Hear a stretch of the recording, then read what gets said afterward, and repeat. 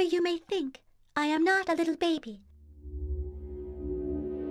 I must not fear. Fear is the mind killer. Fear is the little death that brings total obliteration. I will face my fear. I will permit it to pass over me and through me. And when it has gone past, I will turn the inner eye to see its path.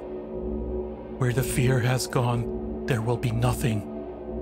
Only I will remain.